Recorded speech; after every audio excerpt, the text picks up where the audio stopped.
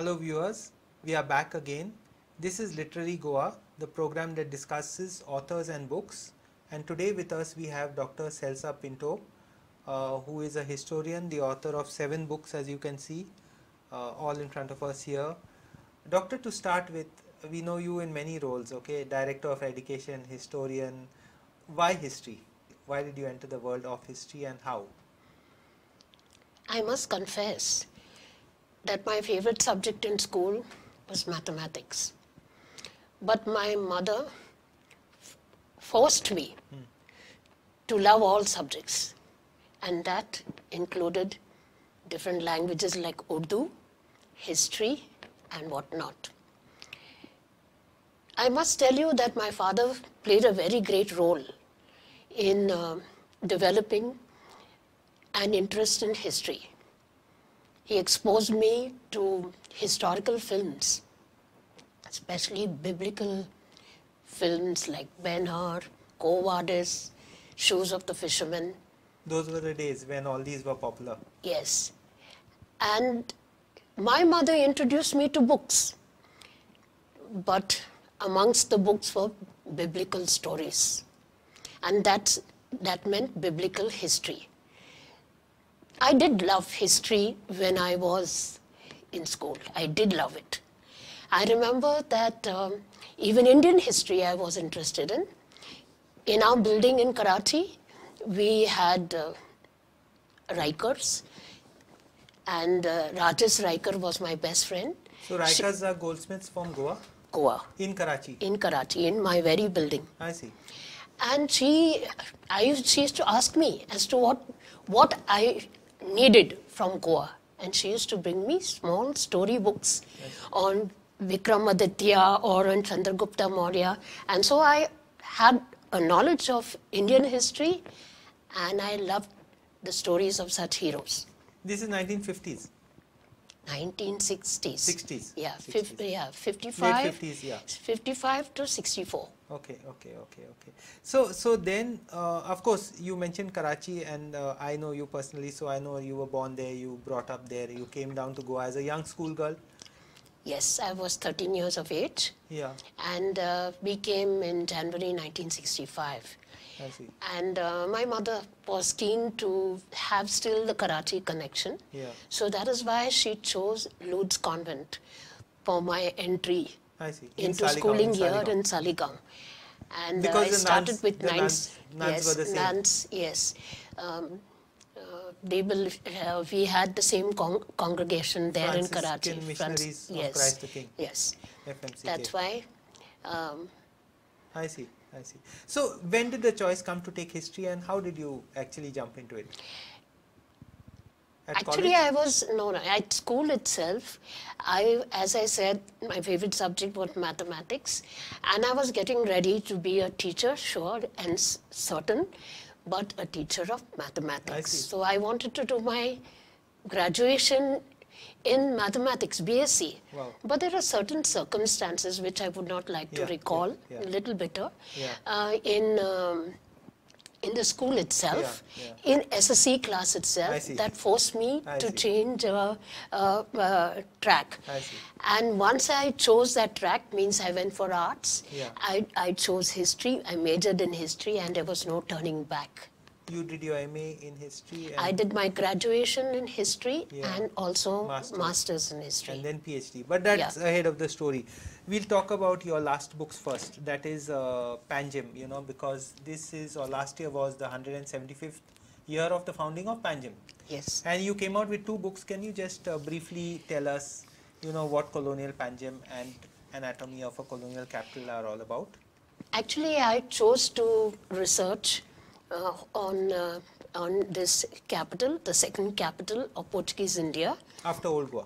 after Old Goa, uh, because I I felt that a lot of uh, uh, you could say uh, that, that um, Old Goa, Cidade de Goa, which today is known as Old Goa, uh, it was in the limelight. Studies, ur- urban studies on that capital stole the limelight. Yeah, and this was a, a neglected field.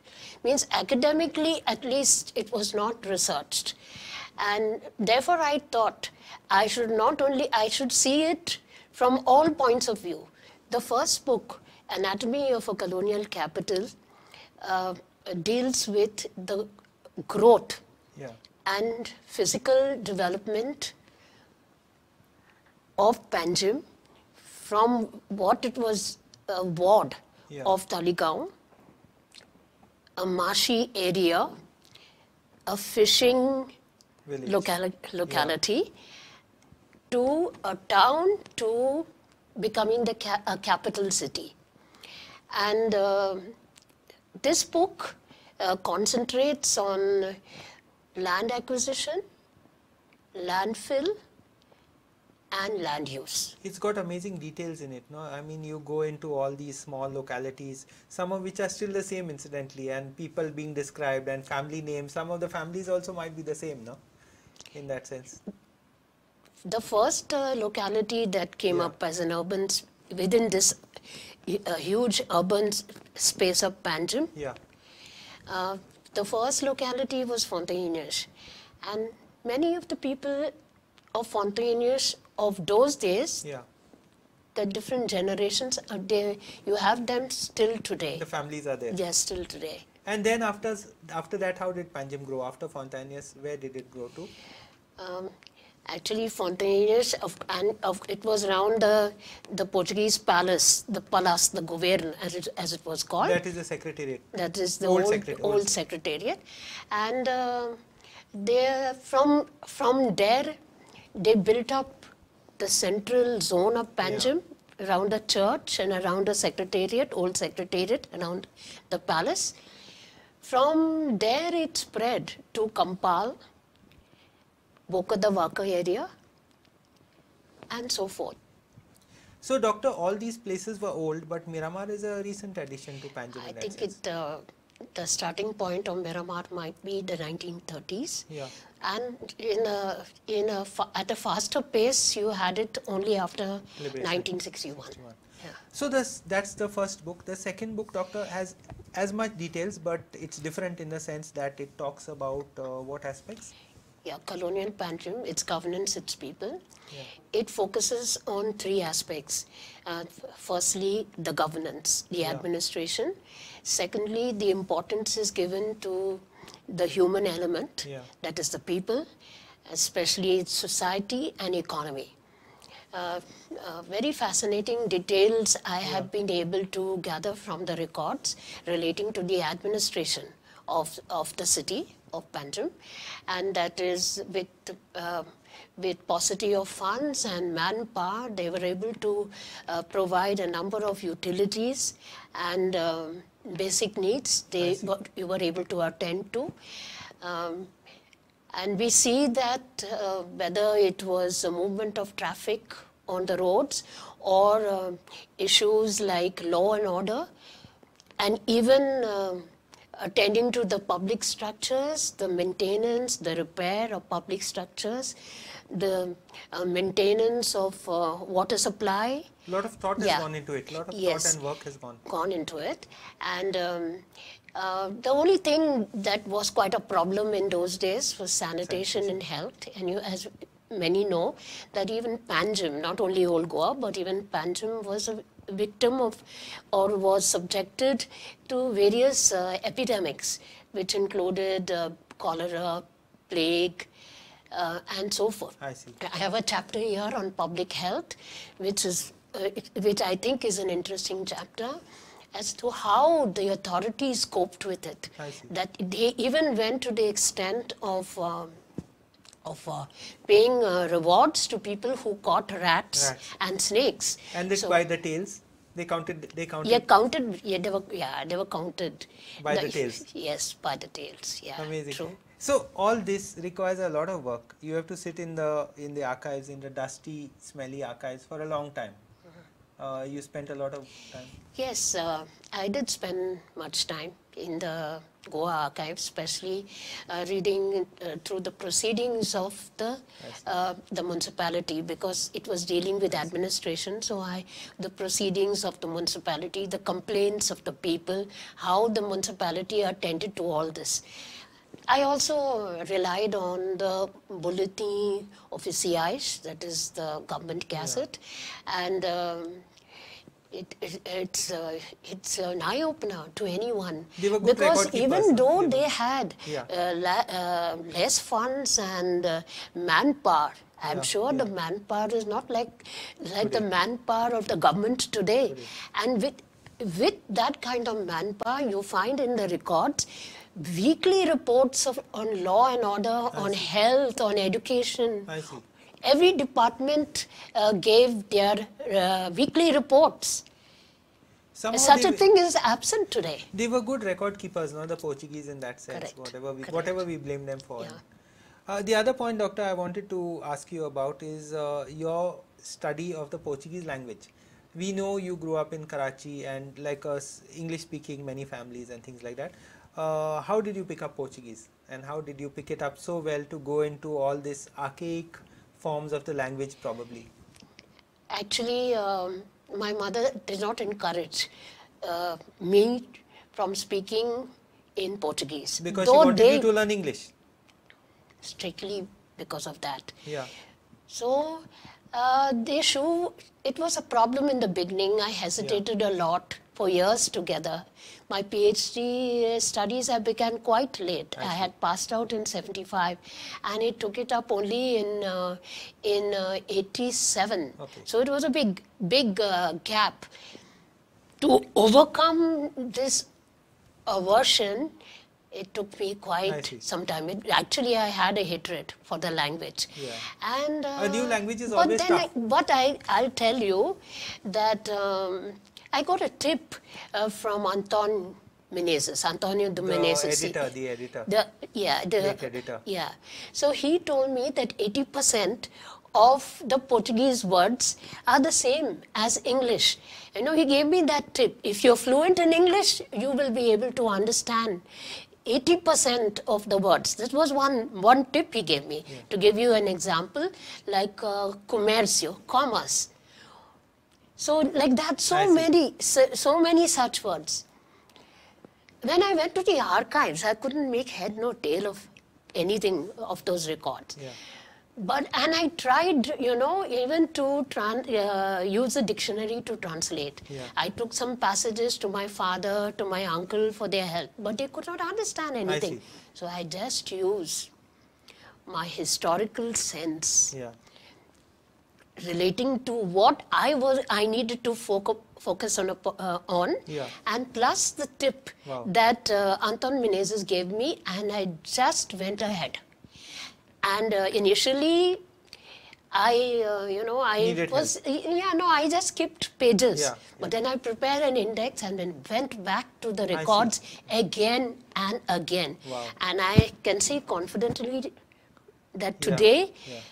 90% of each page of any record Right. in the archives, I see. not necessarily the 16th, Yeah. but from 17th century, I am able to understand 90% of a page. Only uh, because of this kind of approach. Determination pays. Yeah. And if you had not to do it, probably no one would have done it. Yeah. So, uh, this is your first book. You mentioned your PhD thesis, Trade and Finance in Portuguese India. Yeah. Summary of it? Uh, see, this first book of mine, Trade and Finance, and the third book of mine, Yeah. Situating Indo-Portuguese Trade History, a Yeah. commercial resurgence. Yeah, yeah, yeah. I would say they complement each other. They are both books on Indian Ocean studies. Dr. Teotonio R. de Souza, who was my PhD guide, he had Who passed away recently? recently, he pushed me into this field. He said, said he said he said this. He said, "This is a virgin field that you're going to do." Economic history. Sev- economic his, commercial history from 1770 to 1830. And this he said on the basis of the Mhamai Kamat records that he acquired for the Xavier Center. And he had already presented a paper on it. He said, see, there's so much of material relating to it. And this will give you recognition. I was not interested in recognition. I, I just, he was the man that I chose as my guide, and I went ahead. Now, these two books, they uh, explode, the myth that just 16th century commerce Yeah. should, uh, you know, is the main thing. As far as, As- Portuguese Goa goes. Yeah, that far as yeah, Portuguese India, Portuguese Portuguese, India. India. and that it is the glorious peop- uh, period Yeah. of uh, you know of uh, Trade. of trade Business. of yeah basically, but this is relating to the 18th and 19th centuries. So you're saying it was still continuing then and still had it's its still impact? continuing, and this this particular period, 18, uh, 1770 to 1830, was actually a period of revival, a commercial revival. That's why I have meant uh, my third book is a commercial resurgence. It's a period of revival, and uh, that was not only official trade but also the unofficial. What one. kind of products were, Uh, were being uh, traded in? uh, uh, the splendid as well as the trifling. The splendid in opium, in ivory, in gold, in bullion, in uh, and uh, in slaves. As as uh, you uh, must be aware of, Yeah. that ivory, bullion, and slaves came from Mozambique, Right. and uh, opium came from from Malwa, especially Malwa opium, opium went right up to Macau.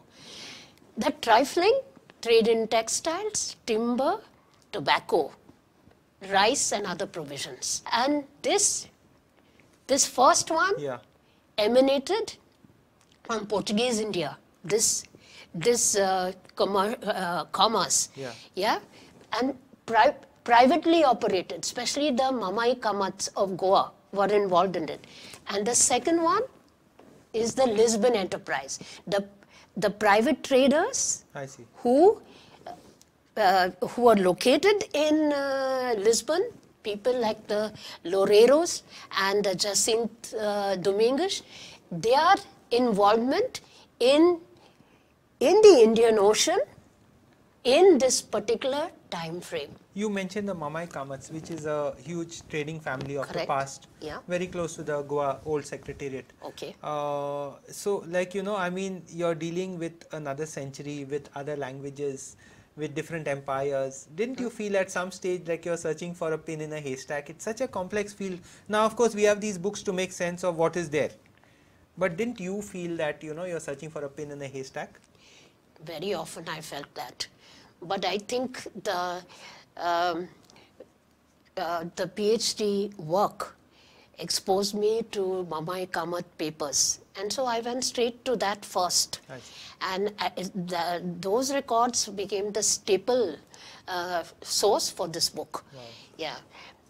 Then, of course, I went to the archives, and there, there was a set, a series, Alfandegas, that means customs records. I see. Yeah, it was untouched. I'm the, I'm, I'm perhaps Wow. the first person to touch it. Really? It's just in the Roteiro, I'm the first. And relating to this, it was a mine of information. But, and it was all, you know, recorded what goods were coming, what type, what uh, quality, first sort, second sort, third sort, what is the price, what is the tax at the port, and whose consignment coming from where. So when I went with this information to Dr. Teotonio, Yeah. I asked him, how am I to use this? Yeah. So he told me, you use it as you wish. Yeah. You have a chapterization. So I decided to use the statistical approach. That is how, with my mathematics I interest, I combined it with uh, economic history. You Yeah. made a very interesting point that uh, you know you were the first to touch these records. I get this feeling that you know we don't care enough for our history. Am I right? Would you agree with me? Yes. Not enough students working on it. There is so much here. You know, Goa was kind of a meeting point of cultures, clashing point of cultures. We need to study more of it. Would you say? I, I definitely agree with you, and it all begins in the school. Even though the, the, there is a segment of local history, history of Goa attached, you know, to the curriculum, I, for some reason, the teachers are, uh, are not interested. They, they prefer the, they are used to the Marathas, the history of the Marathas and the Mughals and things like that. But our own local history, Uh, um, no one is interested. I, will, I can say it with all uh, authority because I have myself uh, gone for inspections to the uh, schools and I would insist that they should, uh, you know, uh, um, for the inspection, that they should present a, uh, a lesson in history. They would prefer the easy way out, the civics and administration. That showed how they, uh, you know, that history they had uh, uh, not a very uh, good grip on, and especially local history. I guess when it's national, it's easier to get so much, so many sources, and here we have to generate our own and all that. But you were the director of education, and uh, tell us a little bit about your own experience in education, right from a school teacher to director's post. Where all did you teach? What was your experience like? Which level did you like the best teaching? I started in 1972 at Our Lady of Devar High School, a Yeah. diocesan society education school. I was a graduate teacher. I taught uh, English and social studies in the higher classes. And it was a very uh, uh, fruitful period, six year period from 72 to 78. Our headmaster was very strict, but I think that was the basis for what was to come later on in life for me. After having, while I was uh, teaching, Teaching. there, I did my master's. Yeah. And therefore, I thought I should move to the next phase. Yeah. And uh, with the help of a walk in interview, I. I entered into Chowgule College. see. And I taught there for 16 years. Wow. From 72 till um, f- um, 94. I see. 94. I taught history. I since there was no change in the syllabus and all, the the batches were different. Uh, yeah. That was the pleasure of teaching a new Yeah. batch. But the curriculum was not undergoing change. So I thought there should be a novelty in my life. I, actually, I never believed that I should go into administration. Yeah. But suddenly there appeared in the, uh, you know, an ad in the papers, uh, Goa Public Service Commission. They had uh, uh, put in an ad. I uh, This was for assistant director or deputy? no, it was for, uh, uh, it was uh, principal of high secondary, but slash deputy director of State Institute of Education. Education. Okay, so I I went for the. There were fourteen of us I see. shortlisted for the interview. Three of us from uh, private sector, Yeah. and the rest were from the government. I see. Was so certain that they would get the post. I see. But for two vacancies, the private people got. I. I, I was one of I them. see. And as I stood first, Yeah.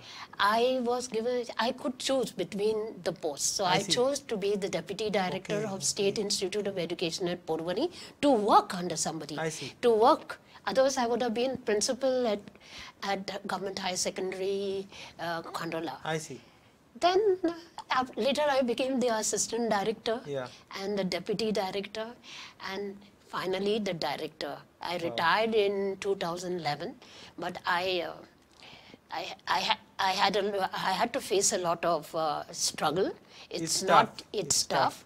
tough. But I have, I think I have to my credit the Yeah. fact that I was the longest, uh, I was the director with the longest tenure since liberation. I see. Yeah. Wow. Six years, no doubt, not a very big period. Director, but that's yeah. important. Yeah. The, the one uh, below, I mean, just below that was four, four years, four, four months. So I see. six years would make it the longest tenure. I see. And doctor, these books also came out after your uh, retirement. So could Yeah. you introduce these briefly? Yeah, this is this was my second book, Yeah. Images and Perceptions. It's a collection of ten research papers. Okay. Most of them economic, um, some political, and some um, uh, social. So an interesting paper was uh, it is uh, with reference to Tipu Sultan. Tipu Sultan's designs on Goa. I see. Fact or fiction I is see. is one of the And papers what's your conclusion? Fact or fiction? uh, the first period Yeah. that is up to 92 Yeah. from the 80s uh, 1780s to 92 he was powerful Yeah. And actually he was not interested I in see. goa but from after that from 92 to 99 Yeah. he had his eyes on goa and he colluded with the french Yeah. and that time napoleon bonaparte was there in france Right. and they wanted, all of them wanted Goa to be a launching pad attack. to attack British India. British India, especially India. Bombay Presidency. Oh, wow. So this is one of the papers. Then there is a ref- reference. There is one paper which refers to the hinterland trade. While I've always dealt with seaborne trade, so the hinterland trade, Carrera the Balagat I is see. one. Then another which refers to, uh, you know, um, formation of uh, of a society for for trade with China. In cotton, in raw cotton, I see. in Goa. I see. So like that, there are a, a number of research papers of, uh, as I said, mainly economic. There's, there's one on the Anglo-Portuguese Treaty of uh, uh, 1878. 1878. Yeah, because of which we got the Murmugaon railway Railway. line, but we had to pay a heavy price for that The salt industry also got disrupted and not only disrupted, it Yeah. came to be, uh, you know, it uh, uh, received a salt as well Yeah. as the liquor industry received a severe blow because the British they uh, came here and controlled, they supervised Yeah. the uh, salt production and the why salt. salt, doctor? Liquor, you can understand why Yeah, salt. because salt, salt also they had their own industry in British India, so it was a challenge to I that. see. I see. And uh, is it true that Panjim was built on tobacco money also? On opium. On opium money? Yeah. My goodness. Yes, and that is exactly this. In this same period, Yeah. 1770 to 1830, uh, Goa, Daman and Diu were engaged in the uh, opium trade with uh, Macau, and that is also a cause for the resurgence. This is one of the factors for commercial re- resurgence and increase in revenues. And so, uh, Panjim, especially some structures which we see even today, I that is see. in the 1830s they were built. Like? like the that whole block of the collectors and Yeah. and uh, police headquarters and things like that. Yeah. That whole block that is one. I see. Then the customs house. I see. The customs house.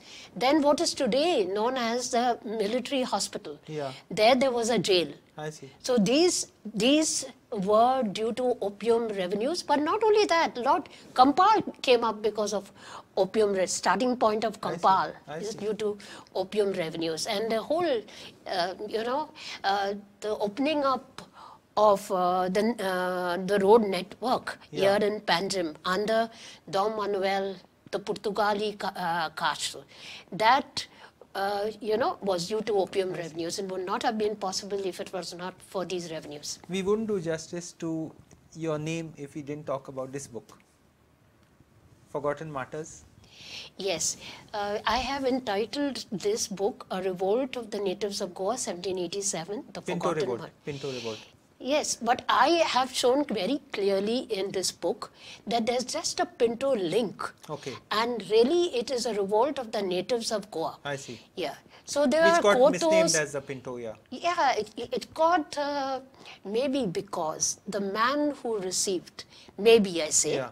the man who received the highest punishment, that is, dragged to the streets of uh, of Goa, uh, tied to the tails of horses, and then beheaded and uh, quartered, and the head, his head was put up on, On a pike. On yeah, so the, uh, that is Manuel Caetano Pint. Maybe because of him. see. I do not know. Also, Cunha Rivara. Uh, it was partial to the Pintos in some way, I don't know. I. But to me, it's a revolt of the natives of Goa, aborted revolt, no doubt. And uh, it was well planned, conceived in Lisbon, and implemented by, tried, they tried to implement. Uh, Father Couto and Father Gonsalves tried to implement it. And uh, there's a lot of details of, of uh, meetings at parochial houses, at residences, and so forth. The first one, of course, was in the Pinto house at Candolim. Yeah. Interesting. One, one last question. Uh, what's your advice to young people wanting to enter this field?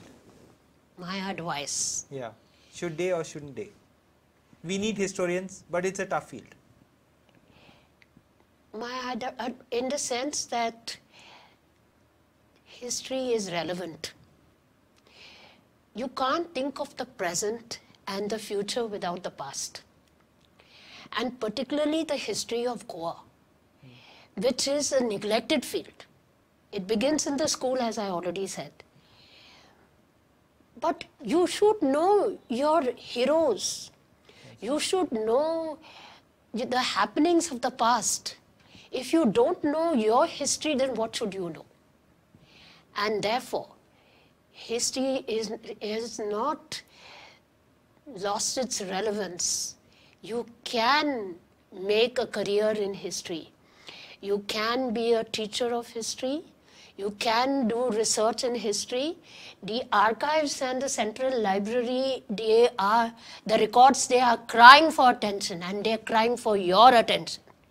You, the young people of Goa. Thank you so much, Doctor, and looking forward to much more work from your pen and from you mentoring other young people also. Thank you. Thank and you for inviting me. Thanks.